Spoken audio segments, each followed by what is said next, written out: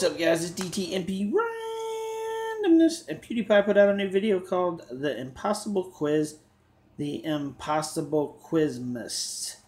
And this is a Christmas impossible quiz that they put out 10 years to the day from when they put out their first impossible quiz. And PewDiePie shows a little flashback of his first impossible, uh, impossible quiz and how he looked way different and he was tired of his intro and stuff. It's pretty funny.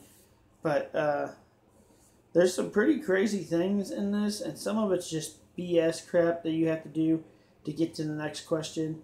And it takes PewDiePie a little while to actually get through this uh, this quiz. It's, it's pretty entertaining. He makes it entertaining. He makes it fun. He makes it worth watching. You definitely want to go check this out because it's a 10 year anniversary from the first impossible quiz. So definitely go check out PewDiePie's channel and watch this video because it's very entertaining.